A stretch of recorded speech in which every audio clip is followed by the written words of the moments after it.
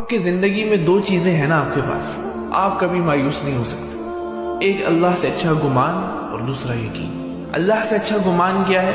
कि मेरे अल्लाह मुझसे मोहब्बत कर no matter how imperfect I am Allah सुबहाना मी और जैसे मेरी माँ मुझे तकलीफ़ में नहीं देख सकती ना तो मेरे वो अल्लाह जिन्होंने मुझे पैदा किया, वो कैसे मुझे तकलीफ़ में देख सकते यानी मेरी ज़िंदगी में अल्लाह जो भी कर रहे हैं मेरे साथ, चाहे मुझे समझ आए या ना आए, उसमें मेरे लिए फ़ायदा और दूसरा अल्लाह पे यकीन। इतना यकीन इतना यकीन, जिसे कहते हैं अंधाधुन यकीन होना, कि मेरे अल्लाह रास्ते बनाने हैं आप। आपके सिवा कोई रास्ता बनाने वाला ही नहीं। है मैं अपने इसबाब नहीं देखता, अपनी काबिलियत नहीं देखता ग्राउंड रियलिटीज को नहीं देखता।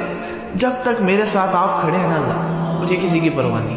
और आप मेरी मदद करेंगे। आप मुझे अंधेरों से निकालेंगे, आप मेरे लिए दरवाजे खोलेंगे, आप खजानों को मेरे पाँवों में डालेंगे, क्योंकि आप अल्लाह है मैं आपका